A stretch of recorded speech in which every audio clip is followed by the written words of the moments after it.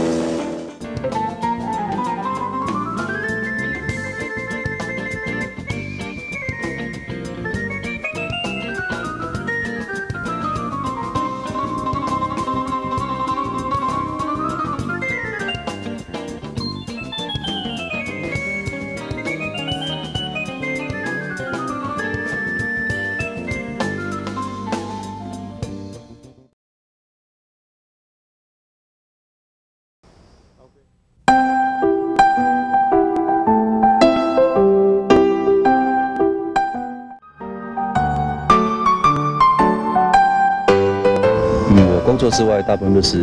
跑山上，就是因为我在做音乐，我希望能有些灵感，所以都会到山上去取材，就是把整个画面都摄摄录起摄录下来，然后回来再去思考，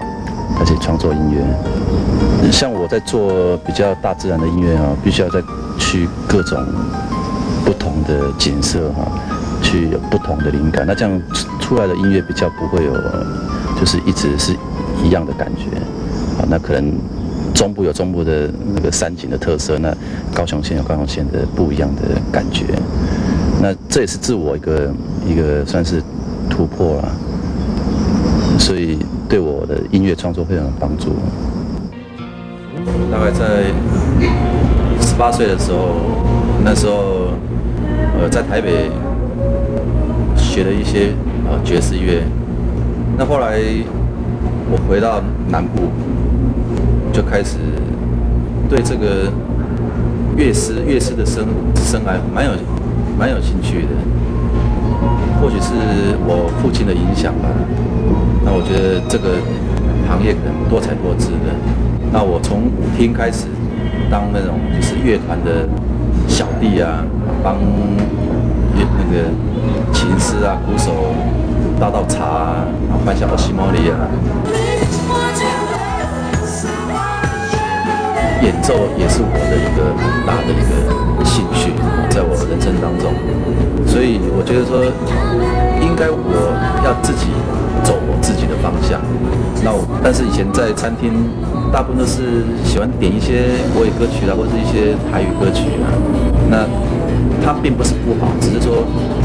我可能会比较喜欢自己的，所以我。乐师都喜欢演奏比较爵士之啊爵爵士乐这一类的音乐，它是比较属于有技巧性的。当然，这个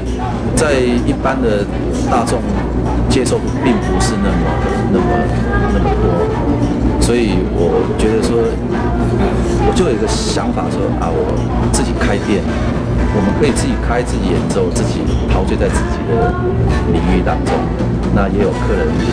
如果喜欢听也可以来听，我们也可以去去寻找一些小众的的人。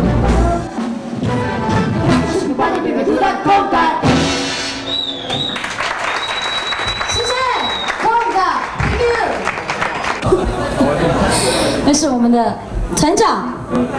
季华林，大家好，对，就称奶油桂花手，让你的手给人家看一下，奶油桂花手。其实我在当兵前哈、我本来就是乐师嘛，啊，那当兵前我就来过亚洲这边，就是唱片公司录过音，那那时候已经就跟老板有认识了。那后来我当兵了，退伍之后，老板就来找我，就请我过来这边上班。那因为这样，我就一直上班到现在。那我觉得这样子从退伍做到现在，我吸收了好，或者是说累积了很多经验啊，就是对于创作编曲，那也应该说是从我当兵那时候在义工队的一个影响很大，在这个创作啊，这个因为到后来我现在变成我很喜欢创作一些属于有故事性的一些音乐，像电影配乐啦这一类这样子。那当然我也不希望说我放掉我我的兴趣就是演奏啊，所以我们还我还是一样继续在就是 pop 啊，就是演奏这样子。